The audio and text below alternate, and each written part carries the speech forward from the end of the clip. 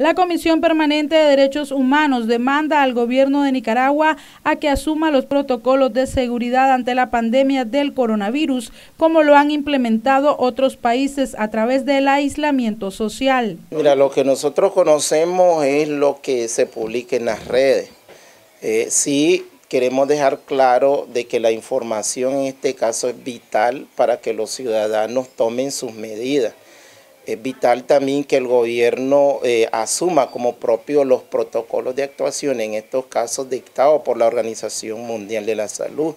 Y uno de los primeros acciones que ha mandado a tomar de manera preventiva la OMS ha sido el aislamiento social. Pues esto debería de estar pasando y en nuestro país la mayoría de nuestros vecinos ya están en esa etapa. Pues y vemos acciones totalmente absurdas y contrarias a la lógica, eh, donde están propiciando este, eh, más bien acciones donde se aglomere la gente, están lanzando el plan verano como si nada estuviera pasando en el mundo. Pues estos son, estas son situaciones sumamente preocupantes.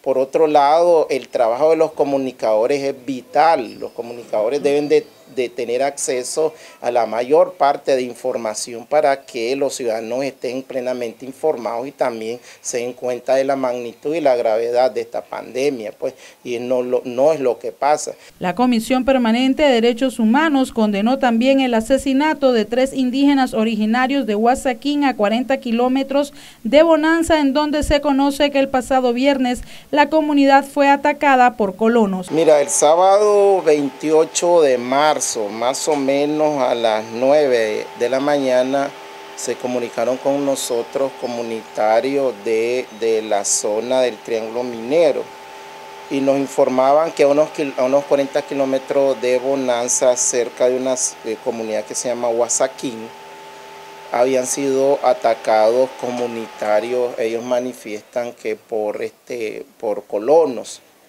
y inicialmente a las 9 de la mañana se manejaban dos muertos y un herido. Eh, ya por la tarde ya se hablaban de tres muertos. Se, suponemos que el herido pues falleció.